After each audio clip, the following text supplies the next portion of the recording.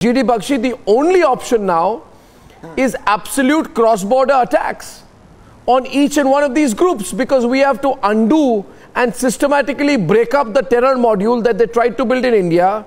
And now I think what we need to do is since we've solved the problem in India, we should go across the border on the other side because these Pakistanis, they are trapped. They are trapped on the Afghan side. We should go on the offensive on the eastern side as well. Most of India wants to see a strong Indian offensive on Pakistan now. GD Bakshi.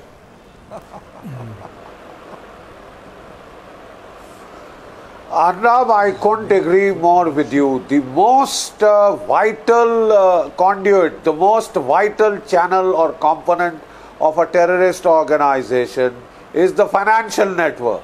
The Hurriyat's financial network today has been comprehensively blown. It has been destroyed. But if Pakistan thinks that that is where it will all stop and end in our own territory, then I think they have a few surprises coming.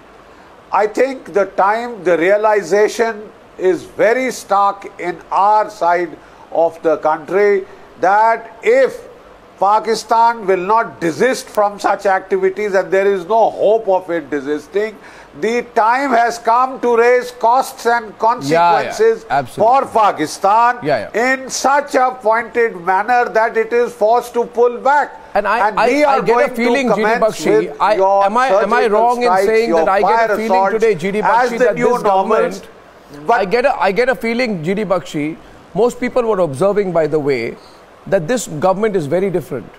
We did the surgical strikes, these Pakistani cowards couldn't even reply. We went to their side and killed their people. Our army went there, we gave them a bloody nose. These Pakistanis don't have the guts to do anything back. They keep crying and whining and crying and whining. Then they are bankrupt, so they don't have any money left. The people, Shafkat said, we, we smashed you. Remember the blood, the blood that was flowing there in Pakistan with the surgical strikes? Remember, you can't do anything. Your bluff has been called out there. You're the weakest, most incompetent bunch of people who call themselves an army. You have no self respect. You get kicked every second day by the Indian army and all you do is whine. अपनी कोई self respect है कि नहीं है हर दिन मार खाते रहते हैं कोई सेल्फ रिस्पेक्ट नहीं है आपकी सिर्फ दहशतगर्दी करता है काबुल में now you'll be caught from both the Afghan side And the Indian side, and you'll be taught a lesson. And and and and, and Shafkat, Shafkat, Shafkat, listen, Shafkat, Shafkat, listen, Shafkat, listen. आपका पता लग गया है। अरे भाई आपकी तो कोई आपकी तो आपकी तो आपकी तो इतनी बेइज्जती हो चुकी है कि आप चाइनीज़ यू आर चाइनीज़ आपके कॉन्टेक्स्ट का पता लग you are Chinese state being exposed आप बिक चुके हैं चाइना में चाइना के पास. You are your next generations are learning dirty face in the अरे भाई your now. Next generations are learning Mandarin not Urdu आपके बच्चे मैंड्रिन सीख रहे हैं आपके देश में उर्दू नहीं सीख रहे हैं आपकी कोई सेल्फ रिस्पेक्ट नहीं है आप बिक चुके हैं आप क्या क्या बात क्या कर रहे हैं बात कर रहे हो?